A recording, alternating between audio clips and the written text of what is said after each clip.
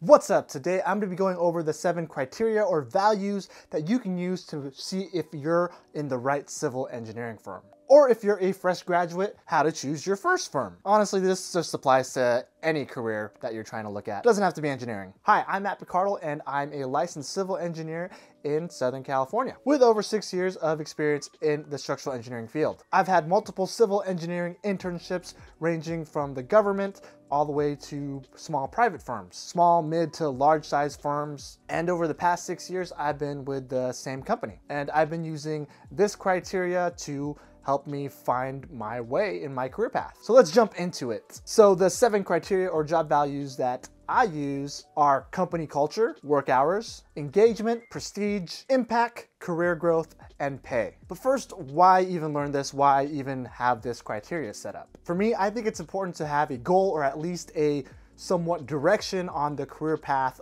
or the life that you want to have. And that involves defining and finding out what you value in work and life. And then if your job is currently meeting those values, then you're much more likely to be happy in that. A lot of the times when people don't define these values and they just go wherever, they may end up resenting where they're at because their values that they haven't defined yet aren't really even matching what the company's providing them. But if you have defined your North Star and your direction that you're going with, you're much more likely to put up with the maintenance or the annoyances that your company might have because every company isn't perfect and everyone's different. You may be someone that's perfectly fine just putting in 40 hours a week and living your life outside of work, or you may be more the more ambitious type that wants to work overtime, that wants to put in that extra effort to get that uh, work promotion and perfectly fine. I think what you need to find out is which type are you? And once you define that in these values, then you match it up uh, with the firm, what they're providing you. So how does this work? For each of these values, I just assign a tier system or a out of 10 system. For me, I'm just gonna go a number out of 10 with 10 being uh, the highest, the most valued. Once you have a value number for each of these, you compare it to what your firm, what your company is currently providing. Are they meeting your most valuable needs in what you're looking for in a career?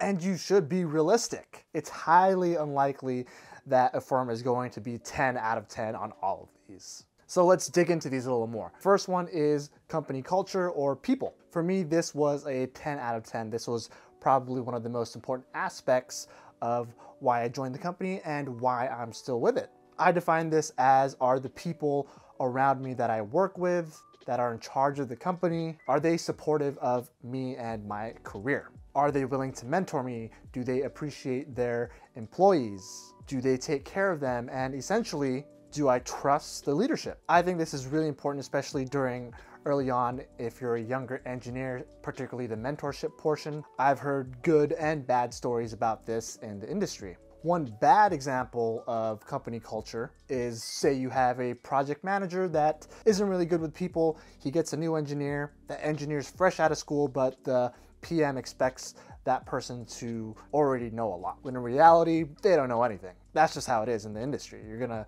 learn a lot of this stuff at work. PM gets frustrated yells at the engineer in front of the whole office and says these words to that fresh engineer that will stay with them for the rest of their life. What do you mean you don't get it? Did you even go to engineering school? That new engineer either quits and hates the structural engineering industry, or they'll fight through it and take it and keep getting better and better at their job, maybe leave the firm, go to another more support, supportive firm. This is a hypothetical example that I've come up with from talking to a lot of different engineers throughout the industry. But I can assure you that that person, that new engineer will never forget those words. Are you even an engineer? Have you even went to engineering school? You're directly insulting their intelligence at that young age where they're still doubting themselves a lot. So if you absolutely want to destroy newbie engineers, uh, that's the way to do it. A good example was for me, uh, an example in my case. I was about a year or two in my career and two of the principals, the ones that are leading the office, one day told me to, hey, let's, let's go grab you some lunch. And I'm still a newbie and I'm wondering, what are these two principals having the time to treat me out to lunch? Like, what did I do? I'm sure they have better things to do. They took me to a fancy Italian restaurant. They sat me down and they said they just wanted to treat me out to a nice lunch because they really appreciated what I've been doing, all the great work that I've been doing, and they really want me to, you know, stay with the firm. And if there's anything that they can do to support to make the office better, just go talk to them. They had an open door policy. And not only that, they gave me a raise right there. And I can tell you as a newbie engineer, I was never going to forget that moment. That mo motivated me even more throughout my career. And even though it was a small gesture on their part, essentially, it meant a lot to me. So company culture can either make or break you, especially if you're a younger engineer. The next one is work hours and flexibility. I define this as how much overtime do you have to do? Is it expected? How flexible is it? Do you have to check in and check out and log in each and every hour and you have to be there at a certain amount of time? Or is it more flexible, maybe work from home or the company trusts you to work their, those 40 hours whenever you get the chance? As a newer graduate, when I was first looking for a job, I didn't really care. I just wanted work experience, so if I needed to work overtime, I'd do it. I'd even volunteer in some cases just because I wanted to learn. So when I was fresh, this was probably like a, a 5 out of 10 for me in terms of priority. But as you get older, now I put a lot more value into it. Right now, this is probably an 8 for me in terms of priority in my career.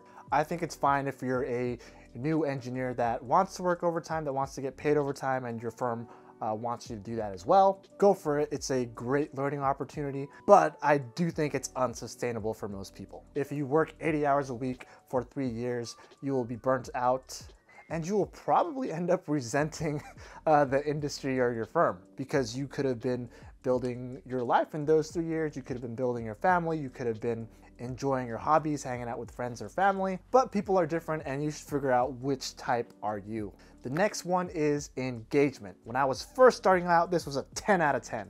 That was like the only thing I cared about.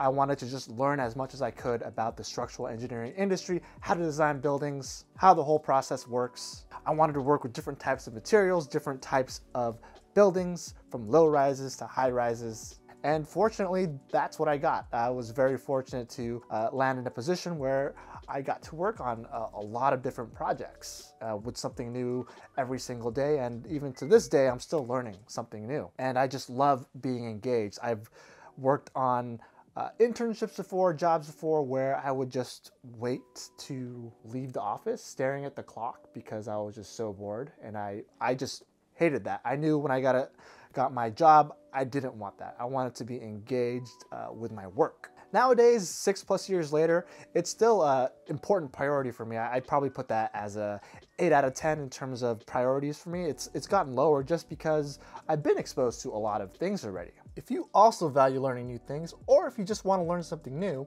I highly encourage you to check out Brilliant, who I'd like to thank for sponsoring this video. Brilliant is an interactive STEM learning platform that helps you learn concepts by visualizing and interacting with them. I'm a big fan of this because I'm a visual, hands-on learner and I learn the best by doing. Brilliant has and continues to add more interactivity to their courses, such as their scientific thinking course, where you'll dispense of the number crunching and mathematics in search of something more useful physical insight. They have a lot of other interactive STEM courses as well, such as computer science and programming, which can be very useful to know in the ever-evolving civil engineering industry. If you'd like to try out Brilliant for free and get 20% off a year of STEM learning, click the link in the description below or visit brilliant.org slash matpicardal and note that this offer is only available for the first 200 people. The next one is Prestige. In civil engineering, I would define this as either working on landmark uh, huge structures, mega projects, and or working at a very large reputable firm. For me back then and even now, this is probably a 5 out of 10. Even though it would be cool to work on those types of uh, mega projects and landmark structures, the cons of those, at least for me starting out, was if you're a new engineer, you'll probably get some little tiny small part of that project because you're fresh. And if it's a huge mega project, it may take uh, many years to even get built or just straight out canceled. So for me, this wasn't really that much of a priority even now. I'd rather work on these smaller or medium-sized projects that get designed and get built and I can see them being used by the community. But if prestige is really high up in your list, then yeah, check out those uh, larger engineering firms that do work on those types of projects. The next one is impact. Back then and even now, that's a 10 out of 10 for me. That's something that I really value. This is the fuel in my tank that keeps me going.